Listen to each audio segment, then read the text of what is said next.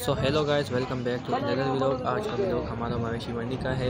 आज की इस वीडियो में हम लोग कुर्बानी वाले और जो कसाई जबा करते हैं आम दिनों में, वो सब जानवर आपको दिखाने वाले हैं। तो जुड़े रहिए वीडियो के साथ साथ साथ देखते रहेंगे। सबसे पहले आप लोगों से गुजारिश है कि अगर आप लोग हमारे चैनल पर न्यू हैं तो हमारे चैनल को सब्सक्राइब कर दीजिए और वीडियो को लाइक करना ना भूलें। सो आइए साथ साथ देखते हैं। आज तो यार धूप इतनी कड़क है कि मैं आप लोगों को क्या बताऊँ। लगता है रोज़ा हमारा लग ही जाएगा। तो आप लोग देख सकते हैं कि इस धूप में भी कितने लोग आते हैं। अपने जानवर बेचने के लिए बेचारे मजदूरी करने के लिए आते हैं?